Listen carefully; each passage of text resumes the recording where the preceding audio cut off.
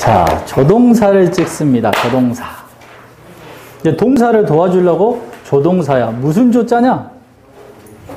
도와줄 조자죠? 또 뭘 도와준다? 움직임을 도와준다. 그죠? 동사를 도와주는 게 조동사입니다. 그러면 우리가 조동사 알고 있는 조동사를 보니까 can, should, would, could, might, ought to 이런 것들이 조동사더라 이거지. 그러니 자 그러면 조동사에서 가장 기본적인 건 뭐냐? 조동사를 보니까 조동사를 방금 여기 보세요. 방금 이렇게 보니까 조동사들이 많지. 이걸 한 또 분류를 한번 해봤어. 동사를 도와주는 게 조동사인데 이 동사들 중에서도 여러분 책에 있지. 조동사의 종류 보니까 어, 여러분 책에는 이렇게 내가 나타내진 않았어요. 일반 조동사가 있고 서법 조동사가 있어. 그게 뭐냐면 음, 조동사 하니까 뭐가 생각나니? 이 많은 단어 중에서 뭐가 생각나? can, will, shall 이런 거죠. 근데 약간 이 조동사를 분류를 해보니까 뭐가 있냐면 자, 어, 니네가 말하는 can 이런 것은 뭐야? 문장을 도와주는 거야? 어떤 것을 도와주는 거야? 이건 해석이 틀려버리지. 그러니 안 그러니? 자, 이렇게 심적 나는 할 수 있다. 알겠어요? 어, 할 수 있다. should 해야 된다. 이렇게 해서 태도야. 태도를 나타내는 조동사를 우리가 무슨 조동사? 서법 조동사라고 하고 문장의 형태를 전하는 거. 부정문 만들 때, 의문문 만들 때 이런 걸 도와주는 거. 미래를 나타낼 때 나타내는 조동사들. 이런 조동사들이 있어. 뭐가 있어? 따라해. will, do, will do. 또 뭐 있어요? have. have pp가 돼버리면 뭐가 돼? 현재 완료가 돼버리지. 이런 조동사들이 있어. 이런 조동사를 우리가 무슨 조동사라고 한다? 일반 조동사. 그냥 알고만 넘어가세요. 그 다음에 어떻게, 니네가 알고 있는 can, 이런 조동사들이 무슨 조동사다? 문장에서 서법, 화자의 태도를 나타낸다. 이런 조동사들이 무슨 조동사다? 서법 조동사라고 하는 거야. 이해됐지? 음. 그러면 조동사 중에서 우리가 제일 먼저 생각해야 될 것은 여러분 책에 있죠. 두야, 두. 두에다 동그라미. 그럼 두를 알고 있는 것 같은데, 두는 언제 쓰니? 우리가 부정문이나 뭐에 쓴다겠어요? 의문문 전환할 때 쓰지. 음. 또 어디 있어? 두가 강조. I do remember the day 할 때 동사를 강조할 때도 써요. 옆에다 강조 하나 써놔. 그리고 자 나는 피자 좋아한다. 나도 그럴 때면 so do I 그러지. so do I. 동사를 대신한다 해서 무슨 동사? 대동사. 그럼 두의 용법은 네 가지가 있다. 알겠니? 그냥 시험에는 안 나오는데 어? 알고 가자 이거죠. 그 다음에 밑에 보니까 시제를 나타낸 조동사들이 있어. will이나 have 이런 것들이 있죠. 음, 설명 안 해도 알겠고 그 밑에 이제 여러분이 알고 있는 can이나 must나 may 이런 조동사를 무슨 조동사라고 한다? 서법 조동사라고 한다. 이런 서법 조동사는 뭘 하냐 하면 의미를 보충해 주는 거야. 옆에다 써놓으세요. 무슨 뭐라고요? 의미를 보충해 준다. 알고만 있어. 조동사의 종류에는 그래서 일반 조동사와 무슨 조동사? 서법 조동사가 있다.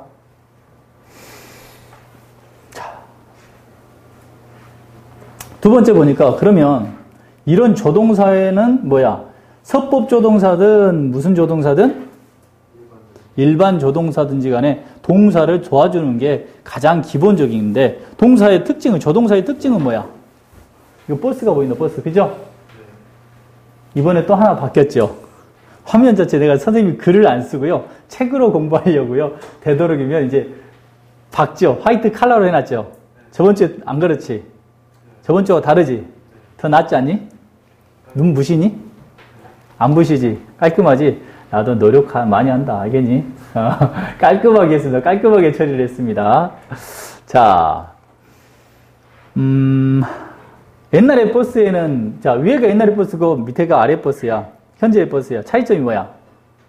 하이브리드. 어? 하이브리드. 그래, 하이브리드 또. 자, 이거 봐봐. 이거는 현재 것은 문이 몇 개야? 두 개죠. 옛날에는 하나였지. 옛날에는 어디로 탔냐? 그래, 뒤로 타서 뒤로 내렸어. 요즘은 앞으로 타서 돈 내고 뒤로 내리지. 어, 뒤로 내린단 말이야. 어, 시대가 변하는 거 아니니? 기름도 옛날에 같으면 좀 어떻게 쫙 가서 알바들이 와서 막 기름 넣어주잖아. 요즘은 어떻게 내가 가서 내가 넣어야 돼. 그치? 귀찮아 죽겠어. 그치? 사람들이 그냥 넣어줬으면 좋겠는데 화장지도 안 줘요 요즘은 가격 내린다고 그지 가격 비싸도 괜찮은데 왜 가격을 내리지 나는 서비스를 받는 게 좋은데 음. 자 내가 생각하는데 혹시 주유소로 할 사람 끝까지 어떻게 넣어주는 서비스를 하세요 알겠지 그러면 좀 비싸도 거기를 찾는 고객이 분명히 또 있을 거야 그러냐 안 그러니 나 같은 사람 있단 말이야 귀찮아 내리기 자 옛날에 뒤로 버스를 탔어 그러면 누가 있었어 누가 차비 받았어 안내원 조수 알아요? 오라이 한 사람? 오라이가 무슨 말이야? 오라이. 어, 일본에서 들어온 말이야. 차 이렇게 딱 버스 타면 맨날 막 차장 우리 중학교 때는 버스에 막 300명 탔다고. 막 이리 쟁겨요. 막 짐짝처럼. 가방은 의자에는 사람이 앉는 게 아니야. 가방이 앉지. 가방 의자에 딱 가방 뭐 어떻게 30개 40개 쌓아놓고 사람 막 밀어 넣어서 막 가는 거야. 중학교 때까지 아침에 버스 하루에 버스 두 대 들어오니까. 아침에 한 번, 저녁에 한 번. 그러니까 아침 버스를 놓치면 다 걸어가야 되는 거야. 막 15km, 10km. 이봉주가 될 수밖에 없죠. 그래서 뭐 버스 기사 운전 안내원이 이렇게 막 타고 가는 거야, 이렇게. 음. 자, 옛날에는 그래서 alright, alright 그게 뭐야? 일본에서 들어온 말이지. alright, 좋다 이 말이겠죠. 음. 그래서 자, 옛날 버스는 조수가 있었어. 음. 왜 선생님 이걸 넣냐면 야, 버스가 조수가 있으니까 굳은 일은 다 누가 하는 거야? 조수가 하는 거지. 오바이트해서 누가 치워야 돼? 조수가 치워야 돼. 누가 침 뱉어서 누가 띄워야 돼? 조수. 마찬가지지. 그러니까 조자가 도와줄 조자이기 때문에 조동사의 가장 큰 특징은 뭐다? 조동사가 있으면 뒤에는 뭐만 하면 된다? 동사의 원형. 쉬운 것 같지? 근데 이게 수능 시험에서 일곱 번 나왔던 거지.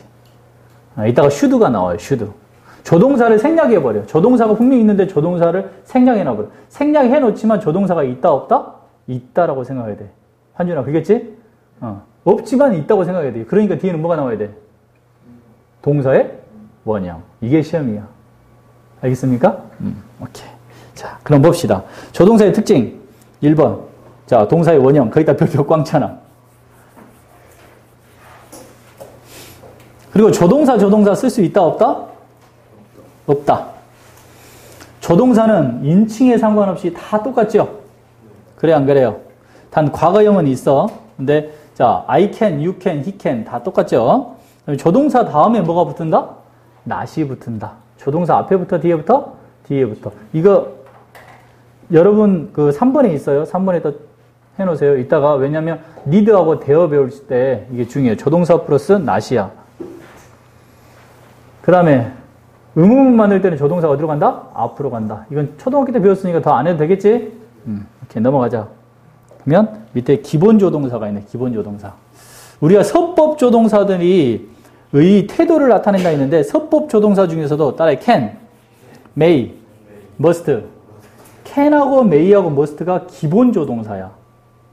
왜 기본 조동사냐고 하면 조동사 중에서도 왜 기본 조동사냐고 하면 자 추측을 나타냅니다. 뭘 나타내? 추측. can의 의미가 많아. 근데 그 중에서도 뭐가 있어? 추측이 있고요. may의 의미도 많아. 그 중에서 뭐가 있어? 추측이 있고요. must도 의미가 많은데 그 중에서 뭐가 있다? 추측의 의미를 포함하고 있다.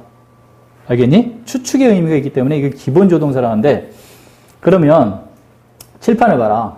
책은 조금 이따 보고 어, can하고 must하고 may에다가 현재형이 붙으면 어떻게? 현재 사실에 대한 추측이 되고 have pp가 붙으면 무슨 사실의 추측이다? 과거 사실의 추측이 돼. 그래서 이거 남겨야 됩니다. cannot be가 무슨 뜻이다? 뭐뭐 일리 없다. cannot have pp는 뭐뭐 했을 리 없다. 암기해야 돼요. may have pp는 뭐뭐 일지도 모른다. may have pp는 했을지도 모른다. 내가 방금 실수했네. may be가 무슨 뜻이라고? 뭐뭐일 수도 있을 거다. maybe 아마 그럴 것이다. 이 말이겠죠? must be는 틀림없다. 이 말이겠지. 근데 must have pp가 되면 뭐뭐 했음에 틀림없다. 알겠지? 그래서 수능에서 가장 많은 이 시험에 나오는 게 이거야. 어, 이 조동사의 관형적인 용법들을 물어보는 게 가장 시험이다. 어, 암기해야 됩니다. cannot have be 했을 리 없다. may have be 뭐뭐 했을지도 모른다. must have be 틀림없다. 거기서 should have pp가 있어요. Should have be 뭐뭐 했어야 했는데 했다 못했다? 못했다. 봐라 여기서부터는 뭐가 돼버려? 했어야 했는데 했다 못했다? 못했다. 거짓말이 돼버려. 자, need not have, 자, need not pp 뭐야? 그것을 할 필요가 없었는데 했다 안 했다? 했다. 알겠지? 거짓말이 돼버려. 이것도 done it. 그것을 하였다면 더 좋았다. 했다 못했다? 못했다. 이렇게. 이것은 거짓말이 되는 조동사고 이건 뭐다? 추측을 나타내는 조동사다. 그래서 어떻게 추측의 조동사와 유감을 나타내는 거짓말의 조동사가 있다. 그래서 관용적인 용법이 시험이다. 알겠습니까? 여러분 책에는 없습니다. 동영상을 보면서 여기다가 참고해서 어, 어디다가 해놔야 되냐면 기본 조동사 밑에다가 조동사의 관용적인 용법 쓰세요. 그래서 정리 써놓으시면 돼.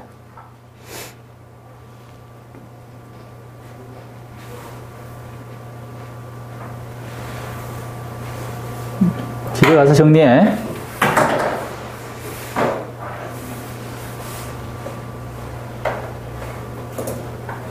자, 다시 한번 정리합시다.